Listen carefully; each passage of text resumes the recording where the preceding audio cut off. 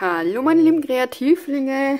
Ja, ich habe euch ja versprochen, dass ich noch aus diesem Kaffeeset von Globaland aus der Kooperation, ich weiß immer nicht, welches Video ich dann zur Kooperation nehme. Vielleicht mache ich das auch als Video zur Kooperation und das andere nicht. Aber egal, ich habe ja gesagt, ich möchte einmal alles durchtesten. Und ich bin echt so happy, dass das in meinen Binder, beziehungsweise, dass ich den richtigen Binder dazu gekauft habe. Ähm, ja, ich habe das schon mal wegsortiert. Das ist übrigens, aber ich werde trotzdem nochmal alles verlinken. Das ist diese Nummer. Ähm, ich werde, wie gesagt, trotzdem nochmal alles verlinken in der Infobox mit dem Rabattcode der NAT 10 ist, nur mal so als Erinnerung. Wie gesagt, ich weiß nicht, was ich als ähm, Kooperationsvideo mache. Als allererstes möchte ich euch, ich habe mir mal so rangewagt, ich habe das schon mal in meine Binder reingemacht. Also ihr seht, es passt perfekt rein. Äh, ja, auf die Rückseite. Haha, jetzt habt ihr den Namen gesehen. Aber keine Adressen. Ah, Naja, ist nicht so schlimm. Ich hoffe es. ähm, passt auf jeden Fall perfekt rein und ich habe mich halt so mal ein bisschen rangetestet und habe ein wenig so getüftelt und so.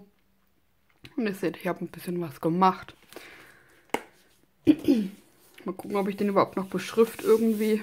Einen Plotter habe ich ja nicht. Dass mir vielleicht Folie oder sowas hätte drauf machen können. Ist egal. Wir machen auf jeden Fall ein, eine Art Geschenkset zusammen. Ich denke, wir fangen mit der Karte an zeige die euch mal zuerst die Karte. Das ist die hier. Die hat einen monstermäßigen 3D-Effekt. Ich weiß gar nicht, ob ich es einfangen kann. Da die Tasse ist auf jeden Fall sehr, sehr hoch. Das ist halt wirklich so, ne? Genau. Brauche ich erstmal ein Kartenholing.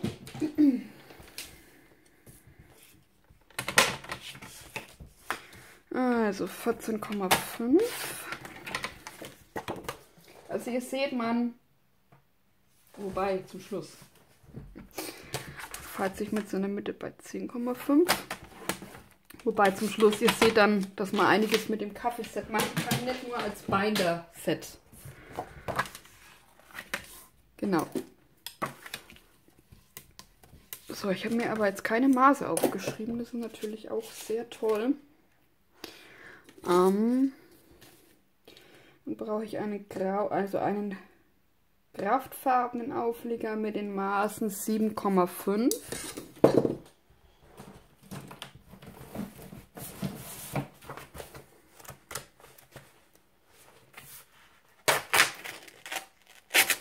Toll, jetzt ist gerissen.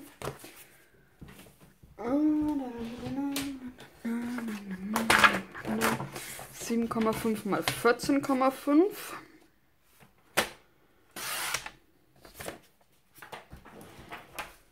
Keinen Platz mehr hier. Ich schneide das einfach hier ab.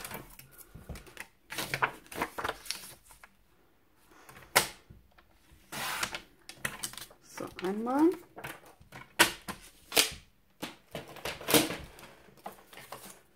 Dann habe ich hier noch so ein Restestück.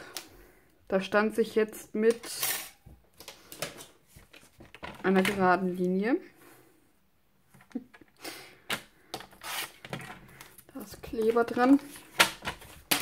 Mit einer geraden Linie diese Kaffeebohnen aus. Ja, reicht. Reicht dicke.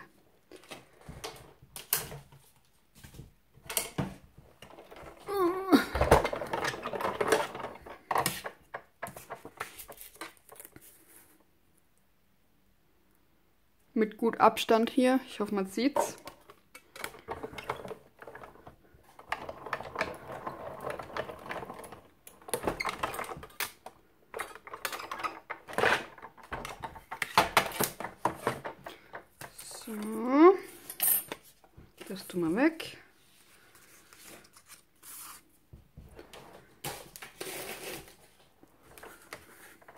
Reste einsammeln, wegschmeißen. Braucht kein Mensch mehr.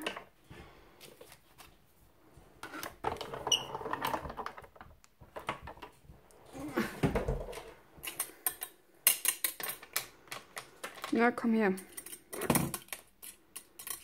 Ach ja, ich hätte zuerst eine andere Aufgabe machen müssen, aber gut, machen wir gleich.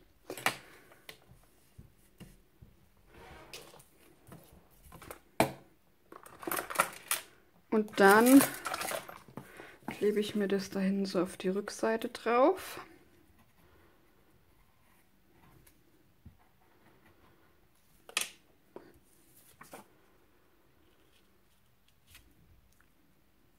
Schau, dass ich den Abstand hier ungefähr gleich hinkriege.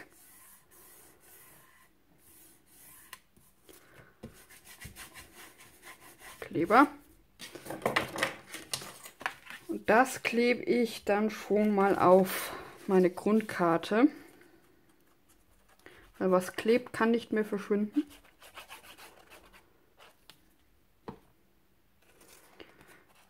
Aber über die Kaffeebohnen geht da nochmal so drüber.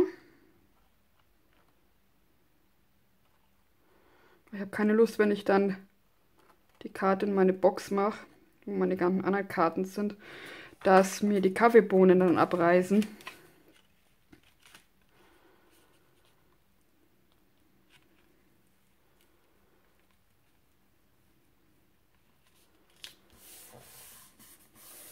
So. Dann mir so ein Stück Restepapier. Das dauert jetzt, bis es dann getrocknet ist. Nehme mir eine... Und tschüss.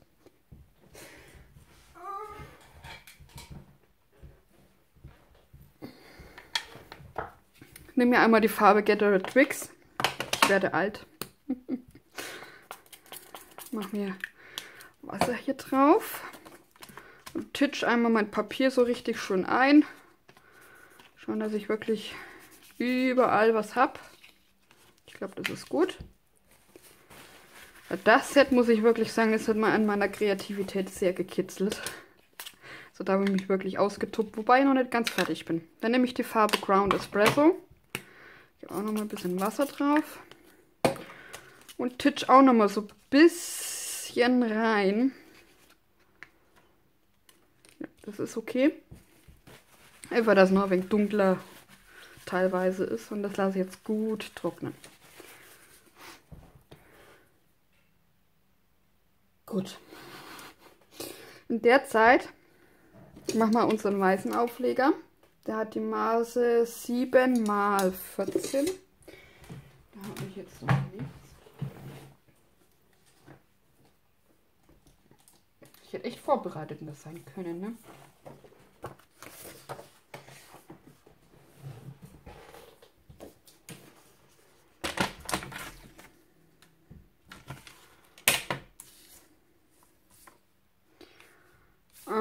Ich überlege nur gerade. 14 mal 7.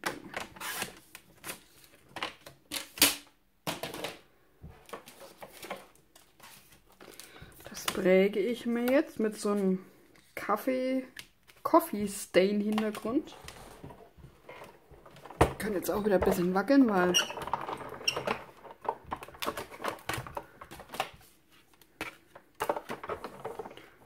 Shot und so.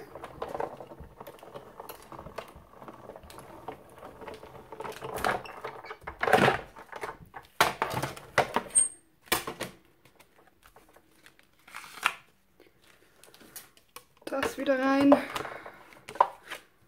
Sandwich wieder zusammenbauen. Oh, Nase kitzelt. Den räume ich gleich wieder weg. Dann wird ein bisschen Platz hier. Und den klebe ich mir einmal auf.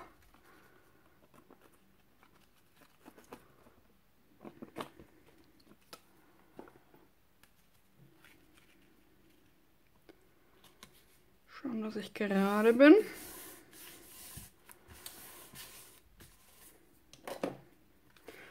So, das was drüben hinaussteht, schneide ich einfach ab.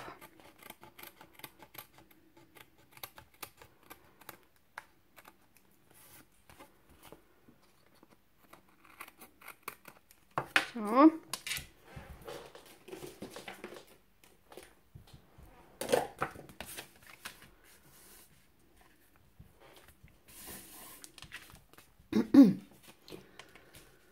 Und dann widme ich mich den Kaffeetassen. Diesmal habe ich mich für helles Blau entschieden. Und da habe ich aus dem Set einmal das, was ich bei meinem Binder-Set als Keks genommen habe, was ich ja schon gesagt habe. Ich habe das ja als Keks genommen und den Swirl mit Marmelade. Das ist eigentlich eine Untertasse tatsächlich. Dann brauche ich den Swirl. Ähm, und die Kaffeetasse. Genau. Das stand sich einmal aus. Ich muss es tatsächlich auf zweimal ausstanzen.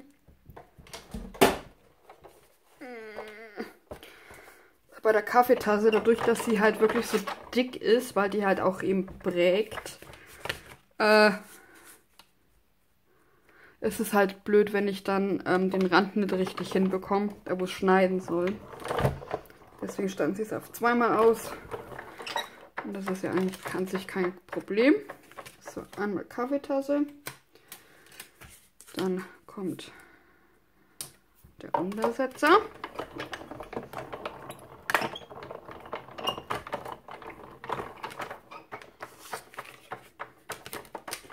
Das hebe ich mal noch auf.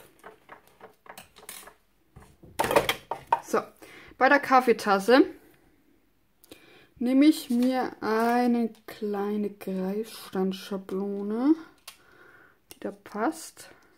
Ja, die passt lege ich, Entschuldigung fürs Wackeln,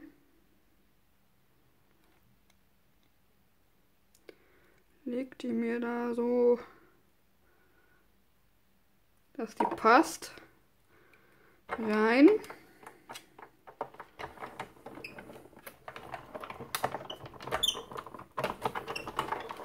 Und stanzt das Ganze einmal aus. Somit habe ich nur den Rand. Genau. So, mein Zwirl muss ich noch ausstanzen. Da brauche ich noch ein Stück Papier. Also mal schwierig mit dem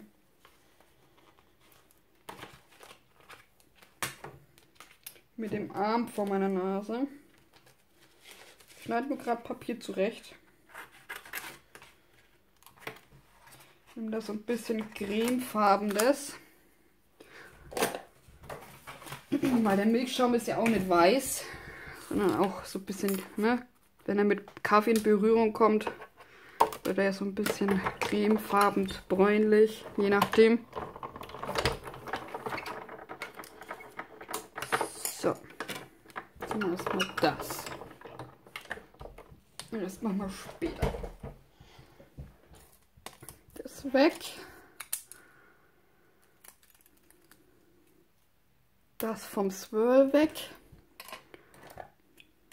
Obwohl ich muss, brauche die, obwohl es müsste eigentlich so gehen, wenn ich Glück habe. Müsste so gehen. So. Die Swirl wieder aufräumen.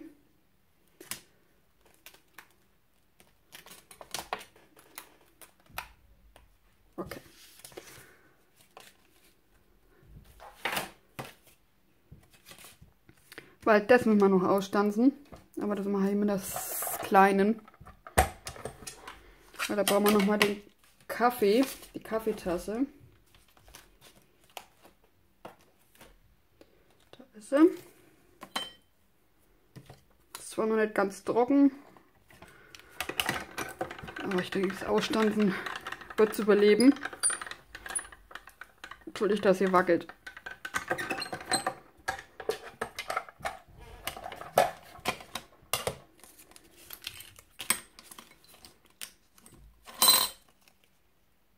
haben wir es. So. Stanzt. Hat jetzt nicht richtig ausgestanzt. Kann aber sein, weil zu wenig Druck drauf war. So, da mache ich mir jetzt einmal Kleber auf die, auf die ausgestanzte Kaffeetasse hin. Warum ich es nicht andersherum mache, warum ich nicht den Kaffee ausstanze und dann reinklebe, weil wenn ich einen Kaffee habe, ähm, ist ja der Kaffeerand, also die Kaffeetasse, ist ja höher wie der Kaffee. Versteht ihr gerade? Und so wäre im Endeffekt der Kaffee ja höher oder würde dann eigentlich im Endeffekt über die Kaffeetasse drüber hinauslaufen.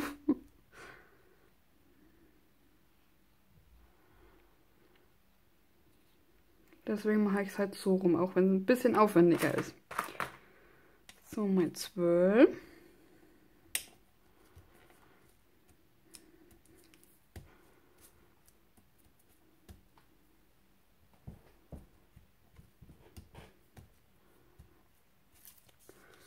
Da mache ich jetzt doppelseitiges Klebeband hin und zwar doppelt.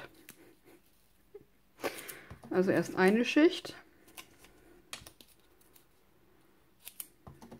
dann die zweite Schicht.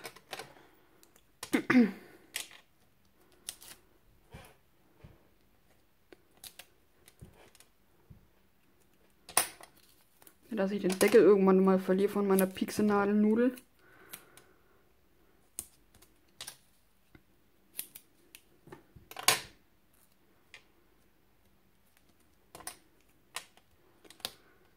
mache ich da die zweite Schicht ab.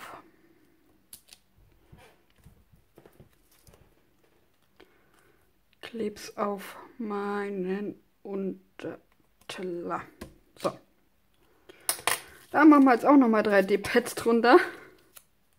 Obwohl ich gerade überlege, wenn ich das... Oh, das ist eigentlich egal. Weil ich brauche noch ganz kleine Schnipselchen. Deswegen habe ich gerade überlegt. Aber ich denke, das dürft ihr auch so hinkriegen. So.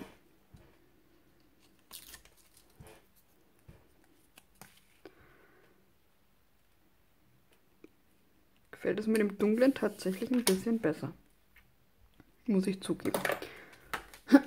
so. Jetzt brauche ich mein braunes Papier, was ich hier habe. Da standen sich ein paar Kaffeebohnen aus. War einmal diese Reihe hier.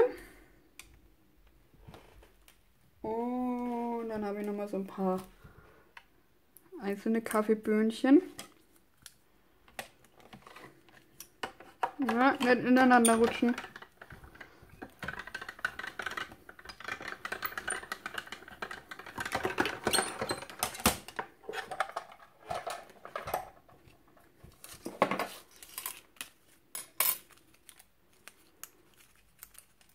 Das hebe ich noch auf. Das brauche ich auch noch mal.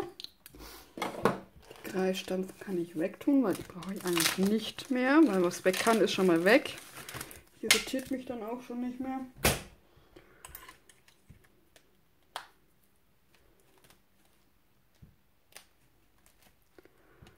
Gut.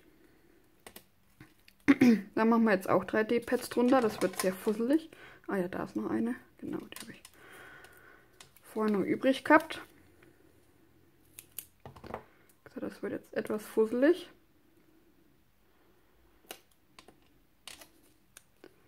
Aber ich wollte halt, alles hat einen 3D-Effekt und alles ist ein bisschen abgehoben. Und dann wollte ich nicht, dass die Kaffeebohnen halt so brach liegen, sondern schon auch ein bisschen, äh, ja, ne, höher liegen.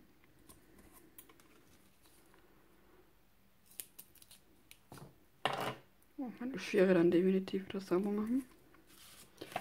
So. Pixelnadel Nudel.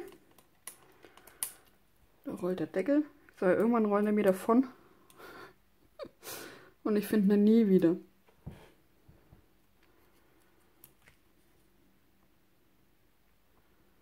So, die lasse ich über den Rand ein bisschen hinaus, hinüb, drüber hinaus gucken. Machen wir so. Da ist ein Stück Papier.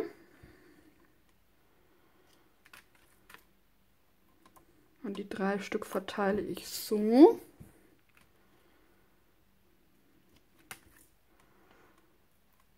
Ich hoffe, man sieht, wie toll die geprägt sind.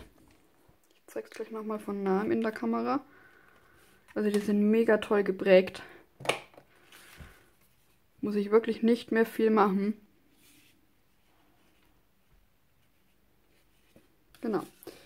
So, jetzt brauchen wir noch ein Löffelchen.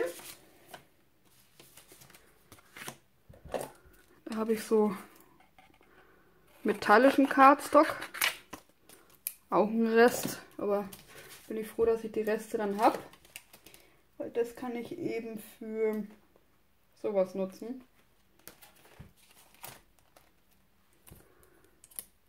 So.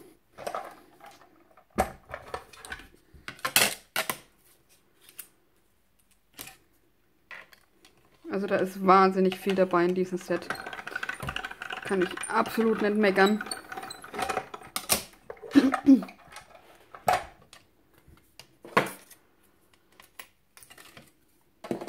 Brauche ich dann nochmal.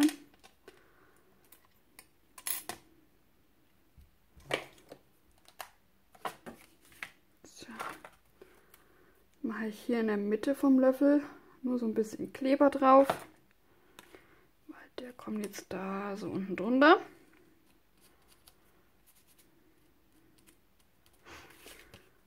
Und dann, doing, dann machen wir noch einen Text dazu. Bin ich froh, wenn mein Schreibtisch wieder ein bisschen aufgeräumter ist. Ein kleines Hallo.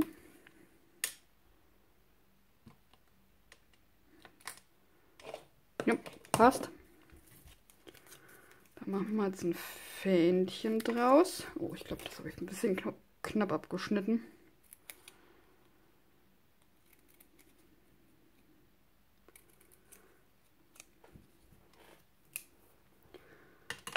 Das klebe ich, weil ich dieses Weiß auf Weiß ein bisschen langweilig fand.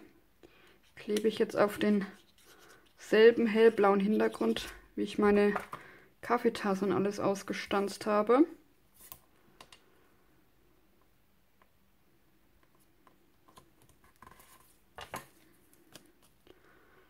Und schneide mir quasi eine Art Rahmen.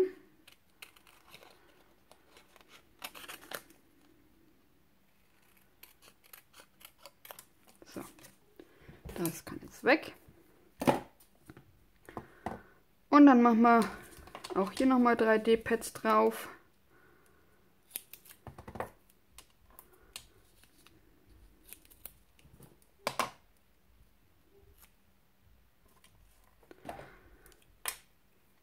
Oh Tatütata. Bei uns auf der Autobahn kracht es im Moment richtig, richtig heftig. Also häufig. Das ist schon immer normal. So, dann kommt es da hin. Ja, da wäre, könnte man jetzt natürlich auch Einladung hinstempeln. Dann könnte man eine Einladung zum Kaffee trinken, ne?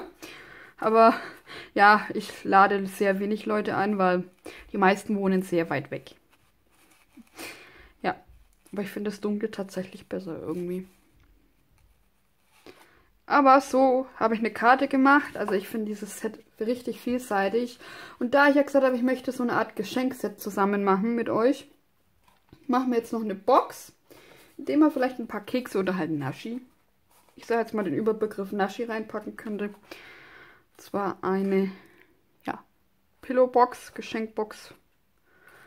Ich habe die hier noch offen gelassen. Wenn ich das dann verpack, äh, verschenke, äh, mache ich Glue Dots rein.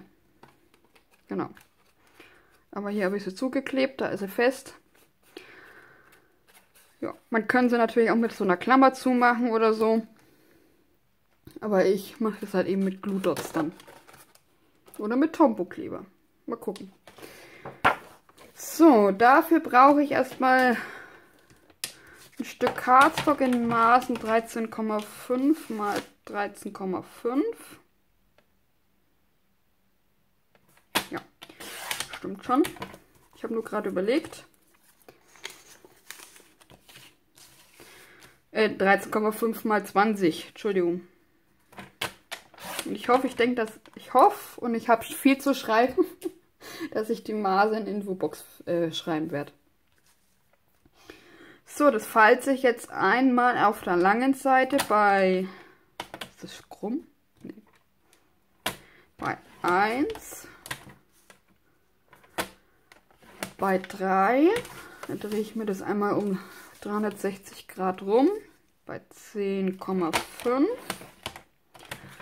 und bei 12,5. So. Sieht aber irgendwie schief aus.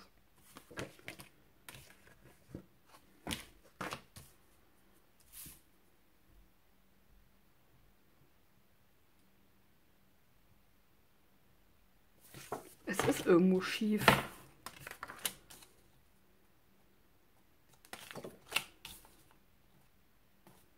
Hm, ich habe keine Ahnung. Naja, egal.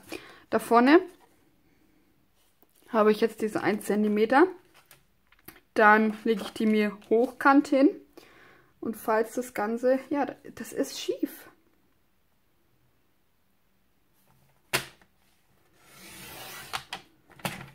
Fehlt jetzt halt ein Millimeter, aber mein Gott, das ist definitiv schief gewesen. Hatte ich recht. Okay, dann falze ich mir das Ganze noch einmal bei einem Zentimeter, bei drei,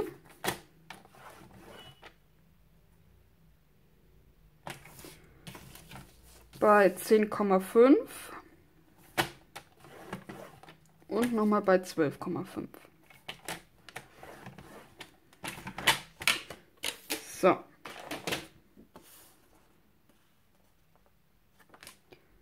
Da muss ich mir mal die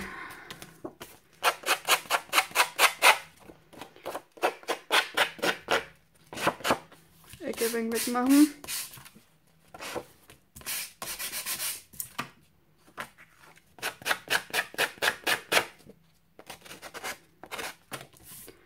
So. Das. Was ich dann mache, ist mit dem mit einem Dotting Tool ähm, ich muss jetzt selber kurz überlegen. Wir haben ja hier das Quadrat, also hier ist meine Klebelasche. Dann habe ich ja hier ein Quadrat und hier ein Quadrat. Da ist es.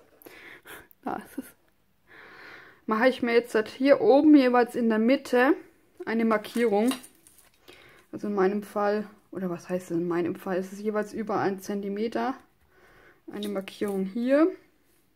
Auch mit dem Licht ist es echt doof für mich und eine Markierung hier. Das mache ich auf der anderen Seite auch.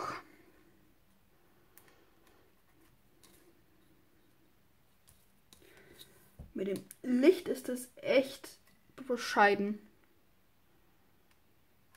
Und eine Markierung hier.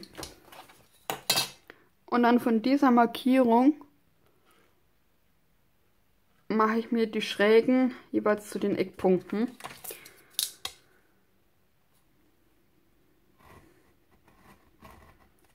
Einmal.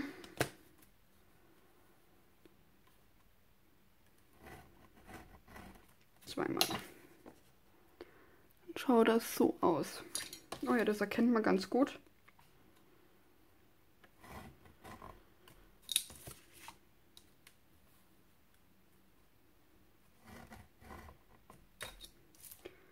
Ähm, die Idee zu der Box war auch nicht meine. Das war, ach oh Gott, YouTube-Kanal, stempel doch mal oder so. Fällt mir jetzt nicht ein, weil während ich das alles gebastelt habe, ich habe zuerst die Box gebastelt, weil ich die ganz cool fand. Sie hat auch Kaffeeset benutzt, aber ein anderes. Ähm, ja, ich habe abgeguckt. Habe ich dann was anderes, dann habe ich äh, nebenbei YouTube geguckt, dann habe ich, also ich will mich da jetzt nicht brüsten damit. Und danach habe ich die Karte gemacht, weil ich gedacht habe, man macht so eine Art Geschenkset draus. Und ja. Einmal das hier.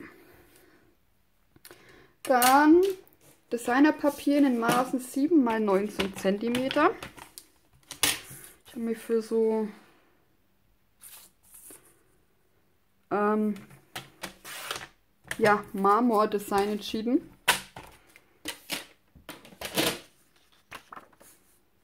Ach nee, die Seite habe ich genommen. Jetzt weiß ich es wieder genau. Die Seite habe ich genommen. Könnte aber auch Marmor-Design nehmen, ne? Aber dann würde es nicht zu so passend zum Gold sein. Egal. Mache ich mir einmal ringsrum Kleber drauf. Wirklich bis in die Ecken. Und was ich dann mache, wir haben hier oben hier unsere Klebelasche. Was ich aber dann noch mache, ist genau an diesen Kanten, weil das Designerpapier kommt ja so drauf, da quasi neben den Falzlinien Kleber drauf. Dass es auch wirklich, wirklich hält. Und ich ziehe es auch nicht bis ganz raus. Aber dass es halt auch wirklich, wirklich hält. Weil wir falzen ja das Papier quasi mit. Und ja.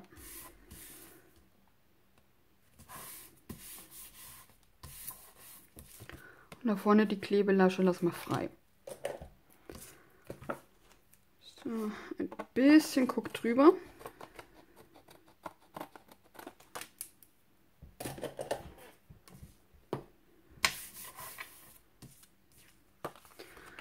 Und dann falze ich einmal alles nach. Ich tue das jetzt aber erstmal entgegengesetzt falzen, weil das Papier hier, also mein Cardstock, hm, der mag das nicht immer, wenn ich das direkt umfalz, also so wie es gehört. Der mag das nicht immer. Manchmal reißt es dann ein. Manchmal nicht.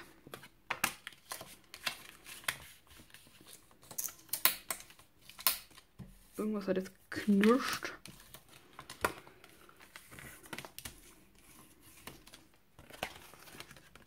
So. Die Seiten werden nach innen gefalzt.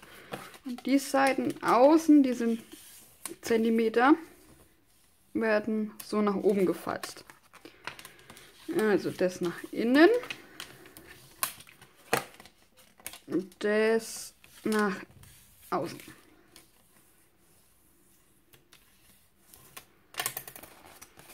So. Und die Knicke, die knicke ich einfach so um.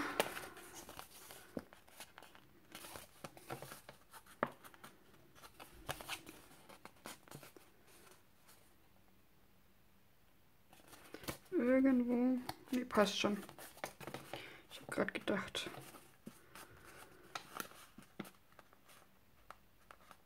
So.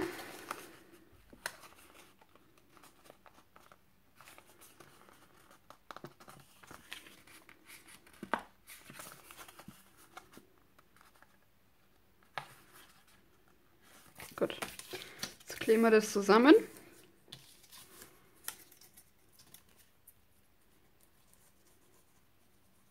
Wenn wir gut geklebt, äh, gut geschnitten und gut gefalzt haben, müsste das jetzt eigentlich aufeinander passen. Ach, bei mir irgendwie nicht.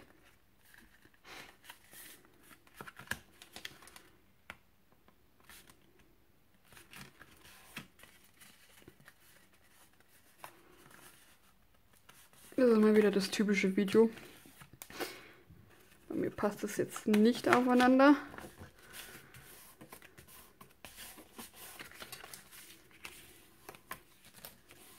Und ich habe gesaubert. Aber da kommt dann mein Lieblingstool zum Einsatz. So. Jetzt dekoriere ich das Ganze. Dann nehme ich jetzt erst einmal so ein bisschen doppelseitiges Klebeband. Mache mir da so zwei Streifen drauf.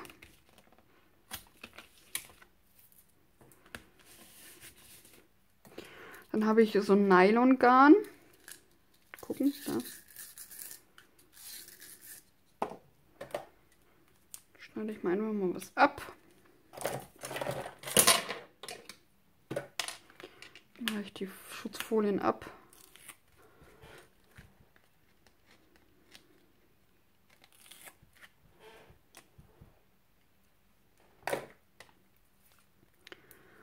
Rahmen versuche ich das so ein bisschen in Form zu bringen.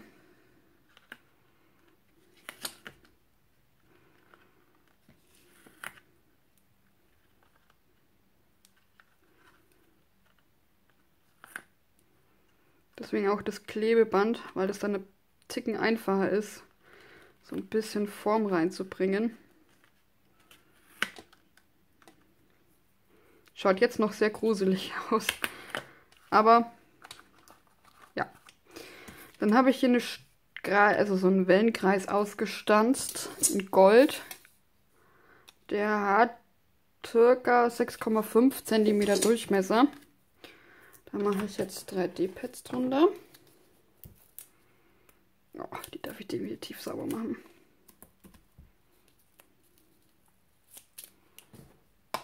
Lässt sich schon gar nicht mehr aufmachen, fast.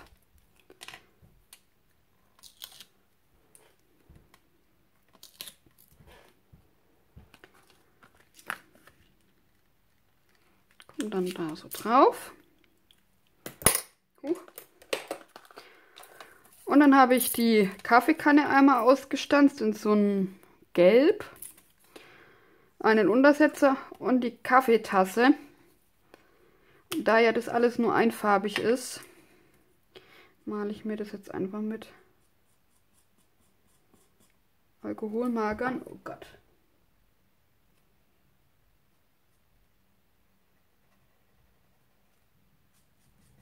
Aus. Gar nicht so einfach.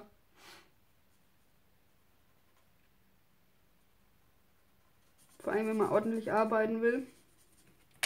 So, das ist geschafft. Da mache ich jetzt einmal den Rand. Gerade weil das Licht so von vorne kommt. Aber ich brauche definitiv ein Licht hier. Weil sonst YouTube dunkelt nochmal nach.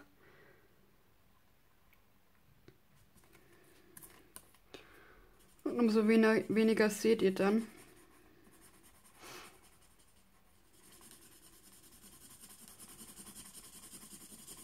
Also ich male jetzt auch nicht wunderschön aus, gell?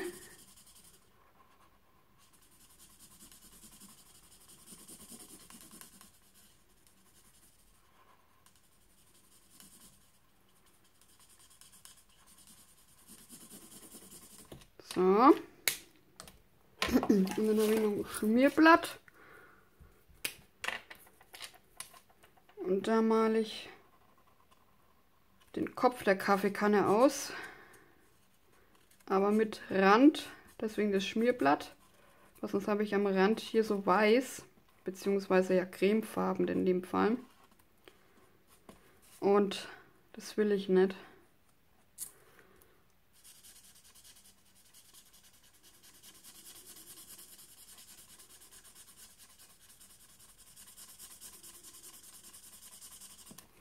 Ich finde, schwarz, das riecht immer wie Marzipan. Das ist wie das Stayson. Das riecht auch immer wie Marzipan, wenn man es aufmacht. Oder Persipan. Die Bäcker kennt's. So. Hatte ich jetzt... Ja, genau. Auf die Tasse, Kaffeetasse mache ich ein kleines Stück 3D-Pad. Hier unten hin. Mit so langer tragt die mich schon. Kommt dann dahin. Dann kommen auf den Rest auch jeweils nochmal 3D-Pads. So. Auf die Kaffeekanne.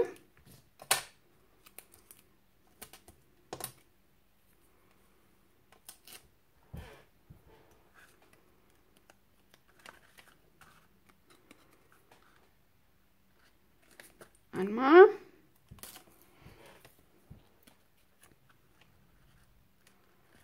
Zweimal. So, jetzt machen wir dann nochmal. Ich drücke mir die Fingernägel quasi so da rein. Und auf der einen Seite klebe ich das ja, wie gesagt, komplett zu. Ich kann das nämlich schon mal anziehen.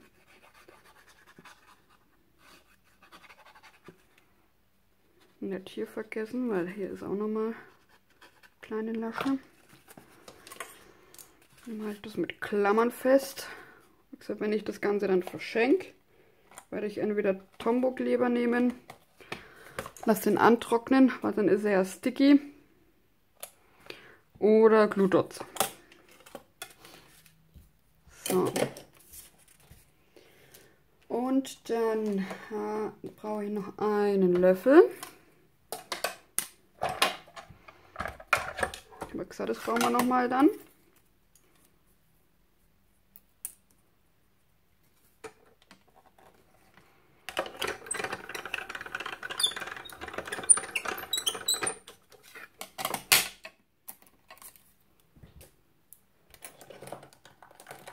Möchte auch noch ein Album machen mit dem Set. Vielleicht mit dem Set, ich weiß es noch nicht, weil ich habe mir die anderen ja bestellt.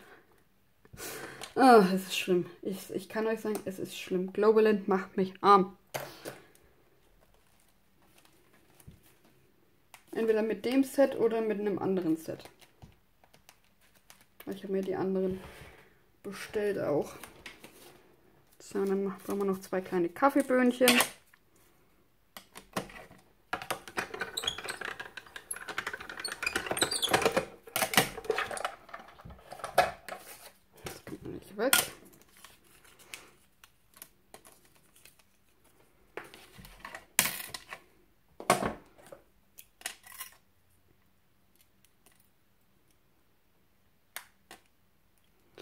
So, auf die mache ich jetzt, nur gucken, dass die richtig rum sind.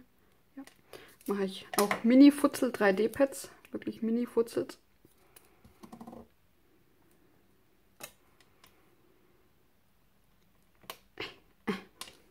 weiß gar nicht, ob es überhaupt so kleine Mini-3D-Pads gibt. Es gibt ja quadratische. Aber ich weiß gar nicht, ob es welche gibt. So ganz winzig. Ne, Wo ist meine Pixelnadelnudel? Mal ein bisschen in Form bringen. Na.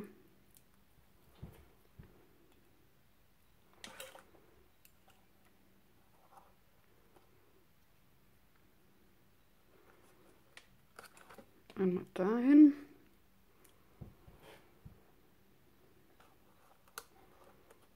Einmal dahin.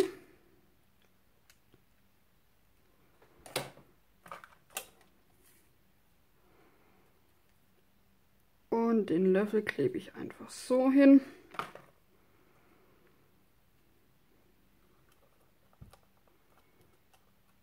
So. Und wie gesagt, das klebe ich dann zu, wenn ich es brauche. Wenn ich es verschicken möchte. Machen wir mal für das Bild, fürs Bild ab. Genau. Und so hätte ich quasi jetzt ein Geschenkset Kaffeeeinladung. Wie gesagt, da kann man dann so ein Cookie, so ein, oh, wie heißen sie das? Gibt es so Kaffee-Cookies, ne? Kaffeekekse äh, reinmachen oder dann vielleicht Einladung. Und dann hätte man noch eine persönliche Kaffeeeinladung. Also ich, ich finde das Set richtig toll. Wie gesagt, ich weiß nicht, ob ich daraus ein Album machen werde oder aus den anderen Sets. Aber ich finde das Kaffeeset echt toll. So vielseitig, wie ich gesagt habe. Das ist, ne? Nicht nur Binder, sondern ich kann eine Geschenkschachtel draus machen, eine Karte. Äh, wie gesagt, ein Album könnte ich jetzt draus machen, aber das werde ich heute nicht machen. aber genug. Mal schauen, ob das Video in einem splittet. Ich hoffe es nicht. Aber gut. Ich sage danke, danke fürs Zusehen. Wir sehen uns beim nächsten Mal wieder. Bis dahin wünsche ich euch eine schöne kreative Zeit. Bleibt gesund. Bye bye.